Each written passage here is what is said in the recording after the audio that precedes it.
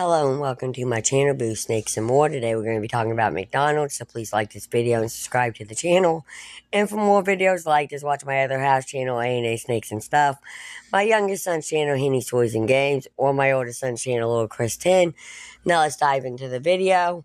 McDonald's is nixing self-serve beverage stations from its U.S. fast food restaurants, and some locations may soon begin charging for refills.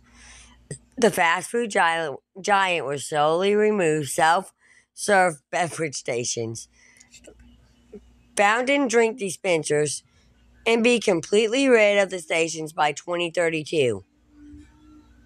Food service restaurants CEO Darren Trestleman, a food service industry researchers researcher expects other fast food joints to follow McDonald's lead. McDonald's is a leader, and most other fast food chains are fast followers. He told CBS News in a story he published this week. The change is ex- intended to make customer experiences consistent no matter where you order on the app, in the drive thru, in the restaurant, or other methods.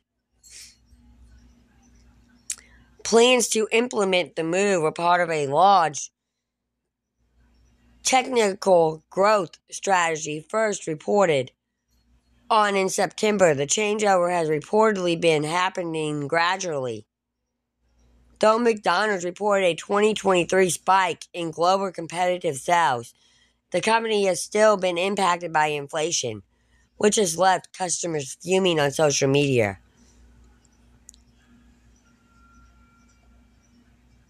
That anger came to a head in 2022 when an Idaho man posted his $16 receipt for a burger, a large fry, and a drink, though he didn't note his burger was a limited edition specialty menu item.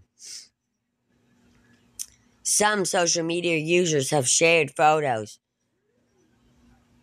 of the barren countertops at their local McDonald's, where the self serve drink station once sat. Others expressed outrage over the ch- outrage over the change, with a Reddit thread on the matter raking up nearly 350 comments. Seriously, this is such a bad idea. This is a huge reason I would choose McDonald's over another option. Shooting themselves in the foot with this one, one person wrote. McDonald's announced last week it will soon offer $5 value meals to diners on a budget.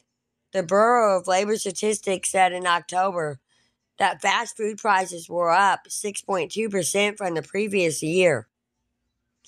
Thank you for watching this video and peace out to the next one.